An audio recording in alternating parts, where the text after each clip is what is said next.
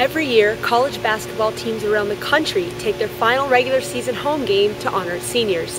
And the women's basketball team here at the University of Miami, well, they have a big task on hand as they look to celebrate three extraordinary young women and the direct impact they've had on the program's success. I've never seen three players claim something more than these three did because it was their hard work and it was their effort and it's theirs and it's their program and the coaches are here to facilitate their success. I'm here to help them if they're not playing up to their standards, but I'm not here to berate them or tell them they're terrible. I mean, I know they want it, and these three have shown every day in practice that they want it. They have big goals. They want this program to be great. So I don't fight them at all. I'll point out, hey, you'd be better off if you use your left hand a little bit more, or cut your dribbles out of your game, or box out some more still. Because, but the bottom line is, I never questioned whether they wanted it to be a top five program or whether they wanted special things for themselves here at Miami. Because they demonstrated that to me early, it is their program. when she got here, we immediately recognized her instincts were so special, and we just wanted her to be making a lot of decisions with us, and that's why our offensive system allows us to think through our guards a lot, and so she could handle the ball as much as she was capable of, and eventually has evolved into someone who can play the point guard position as well as anyone in the country.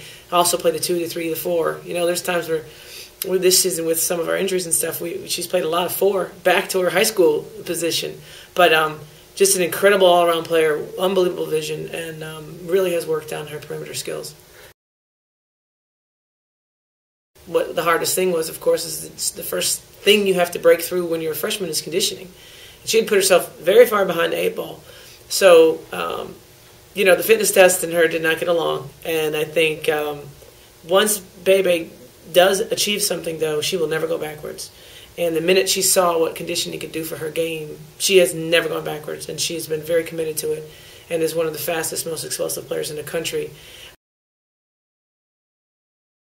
We've had a lot of opportunities for Shenise Johnson, Riquna Williams to get standing ovations and applause and everything else, but this senior night to me is about Sylvia Bullock.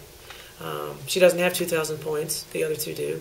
I heard something the other day that she has more rebounds in her career than points, and you just go, what a great kid. You know, what does that tell you?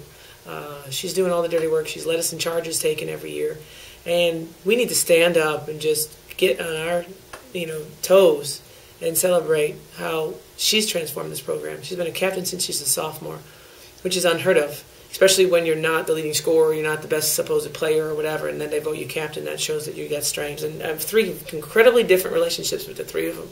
So does my staff but God, they're fun to be around. They're just awesome, and I'm so proud of them, and I'm so happy. But they went out there for me. You know, they risked it. They chose Miami, and they had plenty of other choices, and certainly more winning.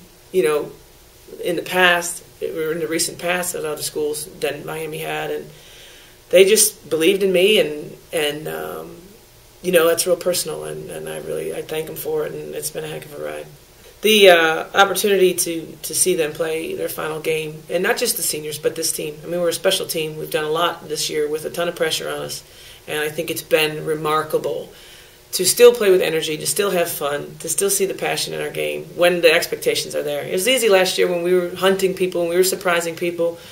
But now everybody put everything on us and tried to ruin us, and it just hasn't happened. We've stayed positive, we stayed fresh, uh, we love to play and we love to share the experience with our crowd. So, you know, don't miss the opportunity to come out and see our final home game. It'll, it'll be a wild ride. It'll be a lot of fun. The University of Miami is offering free admission to this senior game, which is this Sunday. Tip-off is at 1 p.m. right here in the Bank United Center against Boston College. So make sure you get out because it's going to be your last chance to see one of the best teams in the country on their home court.